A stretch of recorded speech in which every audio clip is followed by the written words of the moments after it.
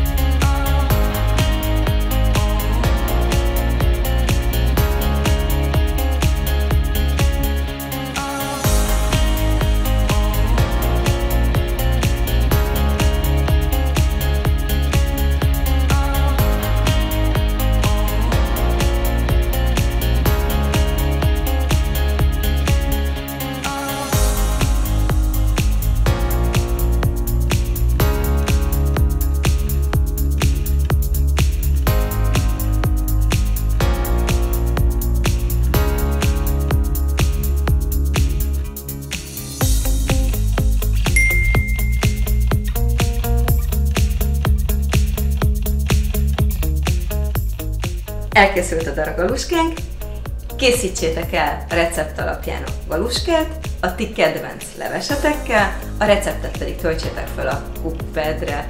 Találkozunk jövő héten is. Sziasztok!